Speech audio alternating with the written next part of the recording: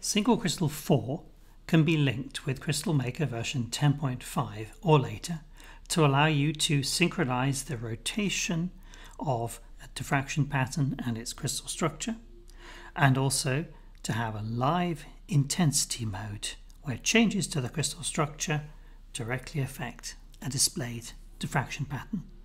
We'll investigate both of these phenomena in this tutorial. I'm going to start off with a very simple crystal structure in CrystalMaker on the left and on the right I've set up a blank window in SingleCrystal.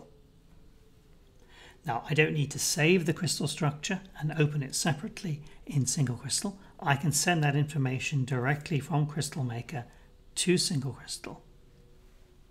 We'll go to the calculate menu in CrystalMaker, down to the SingleCrystal submenu and we'll choose new pattern. And here is the corresponding diffraction pattern, simulated electron diffraction pattern for the crystal on the left.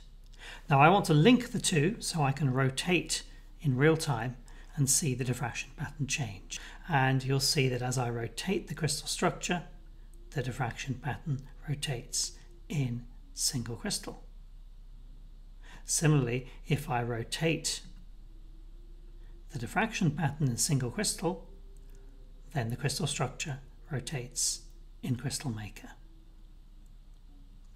Now let's set an explicit view direction down the c-axis in CrystalMaker and let's see what happens if we make changes to the crystal structure. Now I'm going to go to the calculate menu and I want to turn on live intensity mode. Now this is disabled by default because for larger structures this can involve quite a lot of CPU time. So let's enable live intensities. And now let's select one of the atoms in my crystal structure. And let's see what happens as we move it from the center of the unit cell off center. And you can see as we start to move this, systematically absent reflections start to appear and you can see the intensities are changing. Okay, let's move this back to the center. Note that you can use the inspector in CrystalMaker for a selection to edit the coordinates.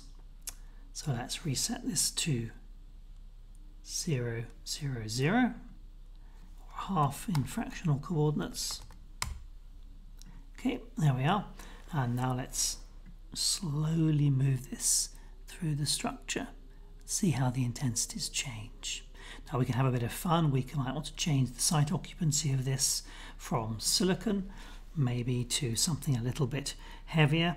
Let's go to um, uranium and now we've got a much more intense reflections and we could do the same thing for other parts of the structure. So that's a quick look at live intensity mode and live rotation mode linking CrystalMaker 10.5 or later and SingleCrystal 10.4.